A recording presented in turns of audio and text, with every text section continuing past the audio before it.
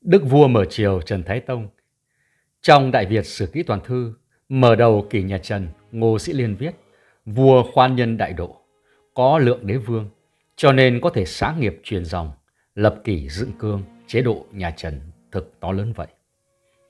Đức vua Trần Thái Tông có tên húy là Trần Cảnh, ngài sinh năm 1218 tại Hải ấp Phủ Long Hưng, nay là Hưng Hà, Thái Bình. Lúc đó cha ngài là Trần Thừa, con trưởng trong nhà, đang giữ căn cứ địa Hải ấp làm kế phòng thủ cho quân họ Trần, đang tiến về Thăng Long dẹp loạn. Ngài mất năm 1277, thọ 60 tuổi theo cách tính của âm lịch. Vua được vợ là Lý Chiêu Hoàng trao cho thiền vị, nhường ngôi cho vào ngày 12 tháng 12 năm 1225 lúc ngài 18 tuổi. Như vậy có thể nói là Trần Thái Tông được kế nghiệp cơ đồ của họ ngoại một cách hòa bình yên ả, không phải tranh giành bằng gươm đao đổ máu. Đó là một cuộc cách mạng cung đình. Nhưng mà khi ngài lên ngôi thì mới có 8 tuổi, còn thơ dại nên mọi quyền lực, công việc của nước nhà đều trong tay cha là Trần Thừa và ông chú là Thượng phụ Quốc công Thái sư Trần Thủ Độ nắm cả. Đặc biệt là ông chú quyền lực nghiêng nước nghiêng thành lúc đấy. Thật may mắn cho họ Trần. Trần Thủ Độ là người trung tín, một lòng tuyệt đối vì việc nước, trí công vô tư nên buổi khởi đầu của Trần Triều nhanh chóng vượt qua mọi cản ngại, hành thông sáng rỡ, trở nên thịnh trị. Vua lên ngôi lúc còn nhỏ, được cha chú dạy dỗ chu đáo cả văn lẫn võ, nên khi trưởng thành, chính thức cầm quyền liền có đủ uy nghi ra ngoài văn võ khiến cho không những quần thần một lòng khâm phục tôn thờ, mà lân bang cũng có nhiều sự nể phục. Kế nghiệp họ Lý, Đức vua cho thực hiện nhiều chính sách phong tục tốt đẹp mà triều trước để lại. Tiêu biểu là vua cho tiếp tục thực hiện lễ minh thệ có từ triều trước ở đền thờ thần núi Đồng Cổ. Núi này thuộc làng Đan Nê, xã Yên Thọ, Yên Định, Thanh Hóa. Vị thần núi này đã nhiều lần hiển linh giúp các đời vua dẹp giặc.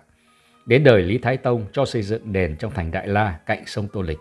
Nay đền Đồng Cổ vẫn ở cụm 4, phường Bưởi, Tây Hồ, Hà Nội. Vua cùng trăm quan đến thề rằng làm tôi tận trung, làm quan trong sạch. Ai trái lời thề này, thần minh giết chết. Ngài còn cho thực hiện nhiều chính sách pháp luật tốt được kế thừa từ nhà Lý. Nhờ có sự kế thừa như vậy nên nhà nước Đại Việt đã phồn thịnh đỉnh cao ở tất cả các mặt chính trị, kinh tế, văn hóa ở triều Trần. Vua vốn là một cao thủ của môn phái võ Đông Nga, môn phái võ của họ Trần nay đã thất truyền, nên ngài rất ưa cầm quân đánh trận, lập được nhiều chiến tích. Năm 1240, vua đích thân cầm quân đi đánh dẹp các trại Vĩnh An, Vĩnh Bình, đánh vượt cả vào châu Khâm, châu Liêm của nước Tống để làm yên cương thổ phía Bắc. Năm 1252, vua lại cầm quân đánh thẳng vào kinh đô Chiêm Thành, bắt hoàng hậu và cung nhân mang về, khiến cho Chiêm Thành phải thần phục. Dĩ nhiên, võ công hiển hách nhất của ngài là vào một năm 1257. Đã chỉ huy quân dân cả nước đánh tan giặc Mông Thát. Đó là cuộc kháng chiến chống quân Nguyên Mông lần thứ nhất, xâm lược nước ta với trận thắng Đông Bộ Đầu lịch sử. Bến Đông Bộ Đầu nằm ở khu vực quanh chùa Hòe Nhai, phường Nguyễn Trung Trực, quận Ba Đình. Trong phép trị nước, ngoài việc thực hiện các điển lệ thi cử chọn người tài bổ dụng, soạn và thực hiện nghiêm hình luật, đặc biệt năm 1253, vua cho đổi quốc tử giám, được vua Lý Nhân Tông lập năm 1076, vốn là nơi dạy học cho các thái tử, các vương tôn công tử, con nhà quyền quý thành quốc học viện, cho thu nhận cả con nhà thường dân có tài năng văn học vào học tập. Có lẽ danh xưng trường đại học đầu tiên của nước Việt nên được ghi nhận vào thời kỳ này là chính xác hơn cả. Điều đặc biệt nữa ở Đức Vua Mở Triều là Ngài chính là người sai Lê Văn Hưu soạn bộ Đại Việt Sử Ký, bộ sử chính thống đầu tiên của nước Việt. Đến năm 1272, dưới triều Trần Thánh Tông thì mới xong. Từ bộ sử này, sau đó Phan Phu Tiên mới chép tiếp Đại Việt Sử Ký Tục Biên, rồi sau đó thì Ngô Sĩ Liên mới có cơ sở để soạn nên bộ Đại Việt Sử Ký Toàn Thư mà chúng ta đang đọc. Ngài còn cho vét sông đào kênh, xây dựng nhiều đình trạm khiến cho dân chúng được hưởng lợi kinh tế phát triển. Còn việc bổ nhiệm quan chức thời kỳ này cũng hết sức là chặt chẽ.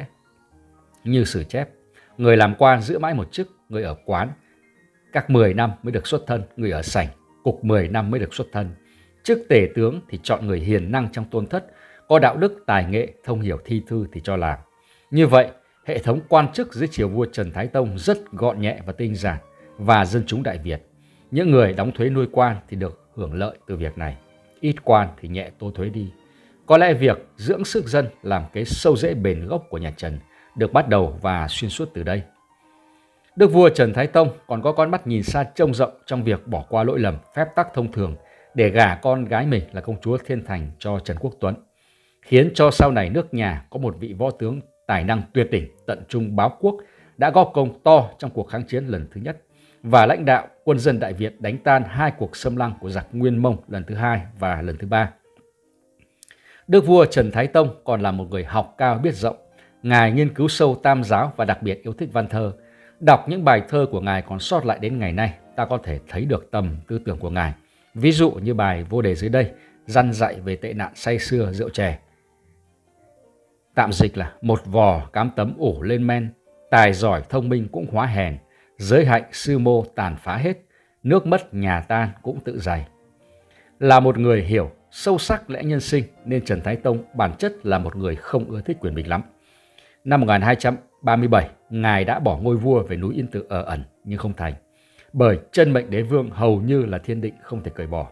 Tuy nhiên khi nắm quyền, Ngài đã có những sự thế vượt qua khỏi mọi nghi lễ nhận thức của xã hội khi đó, mà đến nay chúng ta xem lại thấy nó thật sự là tràn đầy tình người.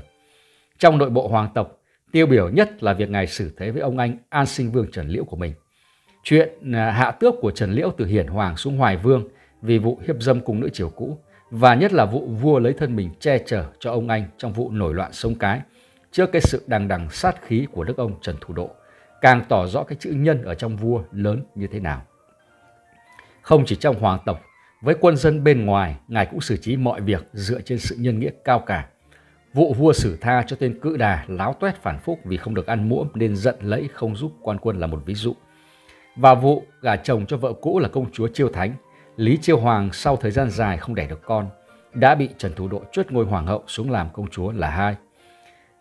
Các sử gia xưa thì thường phê phán nhà Trần ở điểm này, thế nhưng trong cái nhìn của người hiện đại lại thấy thật sự đây là ông vua nhân hậu, người đàn ông tuyệt vời. Dù bất đắc dĩ phải nghe lời ông chú quyền thế, phế hoàng hậu vào năm chiêu thánh chưa đầy 20 tuổi, nhưng mà chắc hẳn rằng trong lòng vua cũng không được lúc nào yên. Nên cho đến khi có cơ hội, năm 1258, vua đã đem vợ cũ chiêu thánh tác thành với tướng quân Lê Phụ Trần, người đã lan xả cứu mạng vua trong trận chiến với Mông Thát vừa xong. Thực tế cho thấy rằng Đức vua Trần Thái Tông đã xử sự rất đúng. Nàng Chiêu Thánh đã có một cuộc hôn nhân về sau hạnh phúc với vị tướng quân Tài Ba. Và cặp đôi này còn sinh ra cho nước Việt một danh tướng lừng lẫy trung nghĩa là Bảo Nghĩa Vương Trần Bình Trọng, người đã dẫn quân cảm Tử cản giặc ở bãi Thiên Mạc cho quân ta rút lui. Người đã quát vào mặt giặc khi bị bắt là ta thà làm quỷ nước Nam chứ không thèm làm vương đất Bắc. Sau này, Thượng tướng quân Trần Khát Chân, người giết vua chiêm chế bồng Nga cũng là dòng dõi của cặp đôi này. Quả thực, dưới sự trị vì của đức vua khởi nghiệp Trần Cảnh Trần Thái Tông, nước nhà Đại Việt khi đó đã lập tức bước ra khỏi loạn lạc thời hậu Lý và tiến ngay vào một thời kỳ thịnh trị. Như sử gia Ngô Sĩ Liên đã viết trong Đại Việt Sử Ký Toàn Thư về thời kỳ này, bấy giờ quốc gia vô sự, nhân dân yên vui.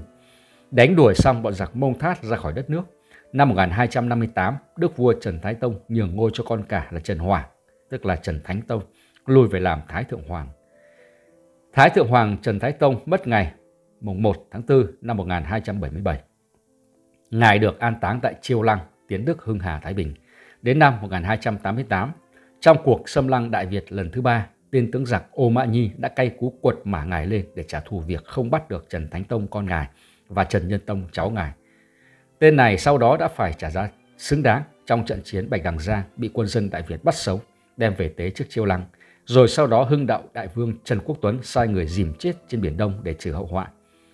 Sau này, vào tháng 6 năm 1381, Trần Nghệ Tông đã đưa linh vị của ngài cùng linh vị của Thái Tổ Trần Thừa, vua Trần Thánh Tông, Trần Nhân Tông về đền An Sinh, Đông Triều, Quảng Ninh để thờ cúng.